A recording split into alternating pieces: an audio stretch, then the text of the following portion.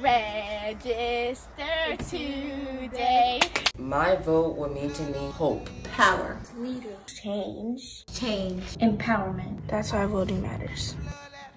Because, because we matter. matter. When JJ votes, real change happens. When JJ votes, real change happens. We are Jack and Jill of America.